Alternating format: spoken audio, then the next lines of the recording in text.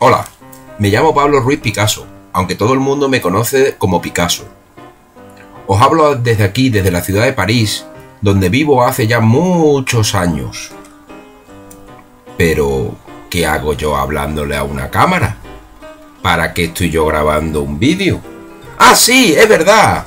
Es para unos chicos del pueblo de Campillos, del Colegio Público Manzano Jiménez, que quieren hacer un vídeo sobre mi vida. Venga, chicos, voy a contaros cuáles han sido mis peripecias. Nací en 1881, en la ciudad de Málaga, en una plaza llamada Plaza de la Merced. Si vais por Málaga, conoceréis la Plaza de la Merced porque tiene un obelisco en el centro. Un obelisco es una piedra larga y alta, alta, alta, alta. ¿Sabéis? Aquí hice mis primeras trastadas y me lo pasé muy bien.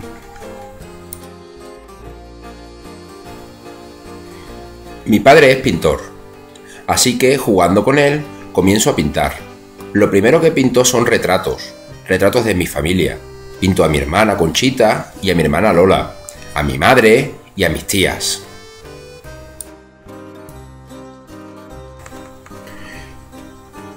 Mi padre, profesor de dibujo en la Escuela de Bellas Artes, lo trasladaron a La Coruña, así que, muy pequeñín, me fui a vivir a esa ciudad. Posteriormente, marchamos a vivir a Barcelona. En Barcelona pinté Ciencia y Caridad para una exposición nacional de Bellas Artes. En esta ciudad también conocí a mi buen amigo Carlos Casagemas. Carlos y yo marcharíamos a París pasados unos años. La muerte de mi amigo Carlos Casagemas me llenó de tristeza. Fue una época muy difícil. Comencé a pintar cuadros muy tristes donde predominaba el color azul. Los que estudiamos a Picasso a esta época la llamamos etapa azul.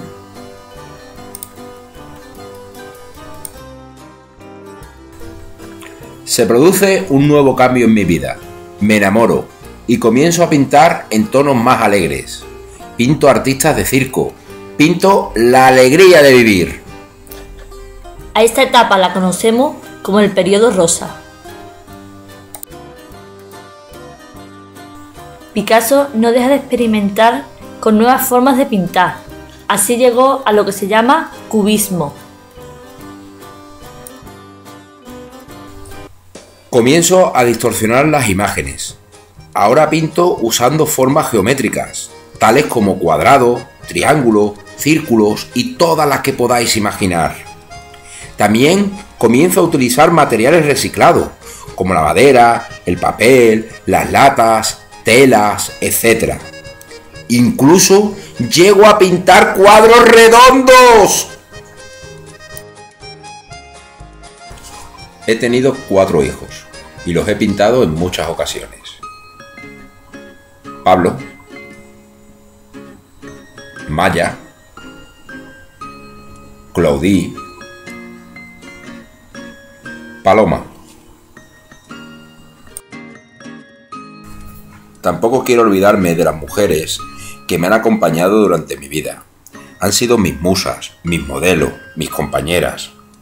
Fernanda Oliver, Eva Gonel, Olga Koklova, María Teresa Walter, Dora Mars, François Gilloc, Gerard Laporte y Jacqueline Roquet.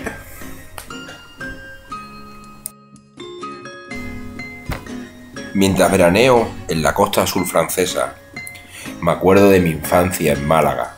Hace muchos años que salí de allí, pero no puedo olvidar sus playas. Pinto bañistas para poder parar la añoranza. Además de pintor, también he sido escultor. Tengo muchas esculturas.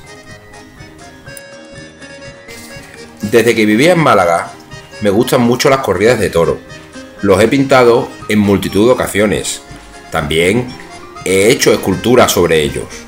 He pintado y esculpido toros, caballos y corridas completas. En mi cuadro más famoso que sé que estáis estudiando el Guernica. Los pinté a los dos.